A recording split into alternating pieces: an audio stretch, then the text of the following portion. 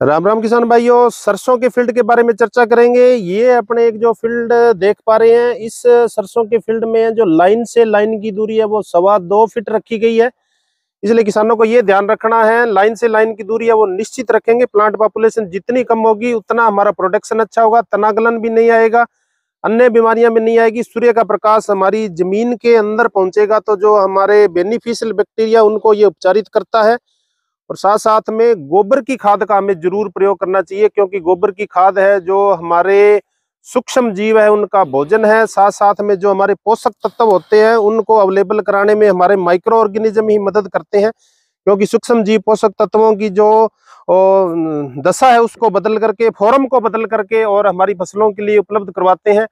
इस तरीके से जो किसान भाइयों ने लेट सरसों की बुआई की है, उन्हें फर्टिलाइज़र मैनेजमेंट है जो अच्छा करना चाहिए। सरसों की बटवार नहीं हो रही है तो अपने उन्नीस 19 19 एनपीके आता है या बीस 20 20 एनपीके आता है, उसकी जो मात्रा है 500 ग्राम 100 लीटर पानी में घोल बना करके, साथ में सूक्ष्म पोषक तत्व लिक्विड है वो 300 एमएल प्रति बीघा। यदि वो छिड़काव कर लेते हैं तो जो लेट सरसों की बुआई होती है तो उसमें फर्टिलाइज़र मैनेजमेंट है, जो अच्छा हो जाता है। तो किसानों का उत्पादन, जो लेट बुआई हुई है, उसमें है जो अच्छा उत्पादन किसान ले सकते हैं। ये यदि सूखे में स्प्रे कर लेते हैं 19 19 20 20 और साथ में सूक्ष्म पोषक तत्व तो प्लांट की जड़ें भी अच्छा विकास करती है टिलरिंग भी ज़्यादा होती है, उसके बाद किसान यदि सिंचाई करता है और साथ में यदि सल्फ़र पहले नहीं दी हुई तो पहले पानी में जो 80 परसेंट या 90 परसेंट डब्ल्यू सल्फ़र आती है, वो दो किलोग्राम मात्रा यूरिया, बीस किलोग्राम सिंचाई से पूरा सूखे में और 20 किलोग्राम यूरिया बाद में जिंक सल्फेट है जो 33 परसेंट, साढ़े तीन किलोग्राम प्रति बीघा जहाँ हमारी लेट बुआई होती है, ऊपर से जब थोड़ी सी ज़मीन एक दो दिनों बाद में पैर धरने वाली हो जाए, उस टाइम छिड़काव करेंगे तो अच्छा उत्पादन मिलेगा। गोबर की खाद प्रयोग करने से हमारा जो उत्पादन अच्छा होता है, साथ में एक प्रगतिशील काश्तकार से बात करते हैं, जो कई सालों से ट्राइकोड्रमा का प्रयोग कर रहे हैं, गोबर की खाद में ट्राइकोड्रमा मिला करके प्रयोग करते हैं, और तना गलन और अन्य जो बीमारियाँ, रबी और खरीफ फ़सलों में तना गलन की बीमारी है जड़ गलन की बीमारी है और फ्यूजियोरम ऑक्सी सफोरम के कारण जो विल्ट आ जाती है उकटा बीमारी वो भी इनके खेत में बहुत कम आती है। खेत बहुत तंदुरुस्त रहता है किसान भाई से चर्चा करते हैं। राम राम जी। राम राम जी। सबसे पहले किसानों का अपना परिचय कराएँ। मेरा नाम हनुमान है गाँव बोड़ावाड़ी है तहसील संगरिया है और जिला हनुमानगढ़ है। और मेरा मोबाइल नंबर चौरानवे एक सौ छियालीस बावन पाँच सौ अट्ठाईस है। चौरानवे एक सौ छियालीस बावन पाँच सौ अट्ठाईस है। तो हनुमाना राम जी, आपको कई प्रकार के पुरस्कार खेती के अंदर मिल चुके हैं, चाहे वो कृषि विज्ञान केंद्र हो, कृषि अनुसंधान केंद्र हो, आत्मा परियोजना के अंतर्गत जिला स्तर पर भी आप सम्मानित हो चुके हैं। इसके बारे में थोड़ा सा बताएँ।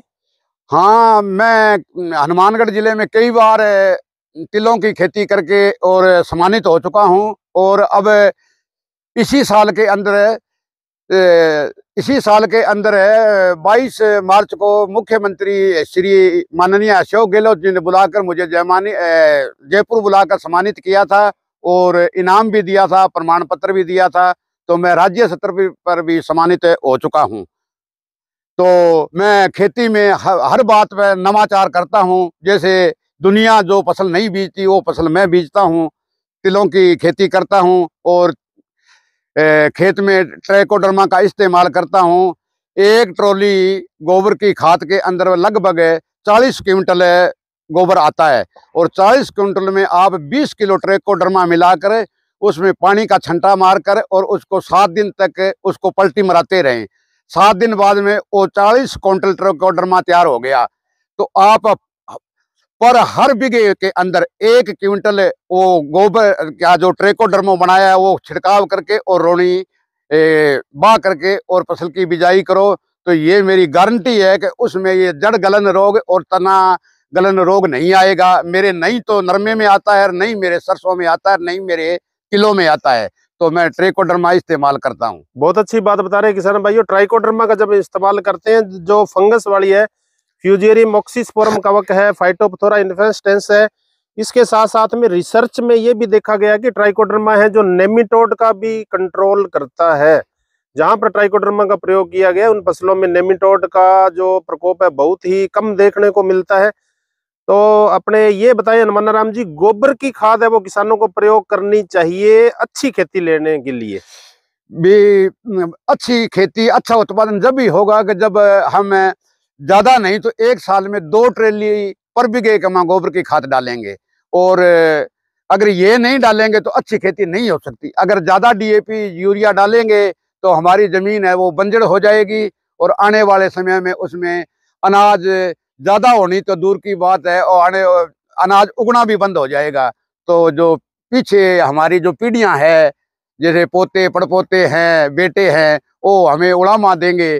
कि हमारे बुज़ुर्गों ने हमारी ज़मीन को ही खराब कर दिया। तो सभी किसान भाइयों से निवेदन है कि पशुपालन करें और गोबर की खाद रसायन है जैसे डीएपी यूरिया इनका प्रयोग किसान को कम से कम करना कम से कम करना चाहिए। ताकि हमारी ज़मीन की सेहत ज़मीन बनी रहे हाँ, ज़मीन बंजर न हो हाँ। आने वाली पीढ़ियों के लिए सुरक्षित रहे। सुरक्षित रहे। और ये पशुपालन करो और गोबर की खाद का इस्तेमाल करो तो ज़मीन बच जाएगी। अन्यथा ये डीएपी यूरिया और ये खाद डालने से तो ज़मीन नष्ट हो जाएगी। और हम्म, सभी किसान भाइयों से यही मेरा निवेदन है कि भी खेत में फ़सल बिल्ली करने से बिजाई करोगे तो ये ज़मीन में उत्पादन अच्छा होगा। किसान भाइयों बहुत ही अच्छी बात बता रहे थे। नमनाराम जी मिश्रित खेती करते हैं। जो पशुपालन से भी आय ले रहे हैं, साथ में जो पशुओं से गोबर प्राप्त होता है, उसमें ट्राइकोडर्मा मिला करके और अपने खेतों में प्रयोग करते हैं जिससे जड़ गलन संबंधी बीमारियाँ वो बहुत ही कम आती है। और आपने रमनाराम जी, कहीं से ट्रेनिंग भी ली है क्या? कोई कृषि विज्ञान केंद्र हो या पशुपालन में?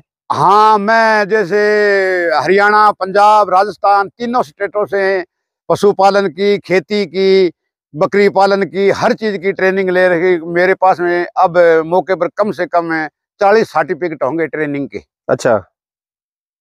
तो किसान भाइयों, ये हमारे साथ किसान जुड़े हुए थे जो गोबर की खाद का महत्व बता रहे थे और ट्राइकोडर्मा का प्रयोग करना चाहिए।